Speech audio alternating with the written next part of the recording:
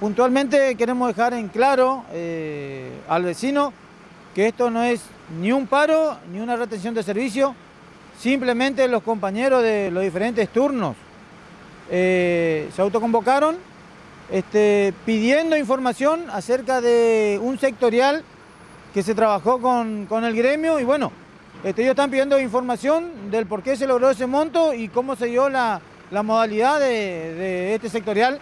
Así que bueno, Estamos esperando ahora que bajen las autoridades del gremio y, llevarle la tranquilidad al vecino de que la recolección se está realizando normalmente.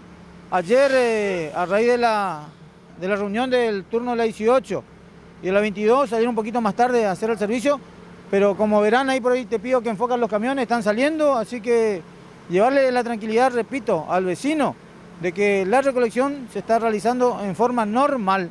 Así que bueno, ¿El conflicto hoy es con el gremio más que con la municipalidad, se puede decir eso? No, no, no hay conflicto. Por eso te vuelvo a reiterar, no hay conflicto, estamos pidiendo que baje la comisión del SOENA a dar explicación nomás de cómo se dio la dinámica del adicional, nada más. O sea, no hay conflicto. O sea, hay que llevar la tranquilidad al vecino y los compañeros están saliendo normalmente, así que otra cosa no, no, no hay para agregar.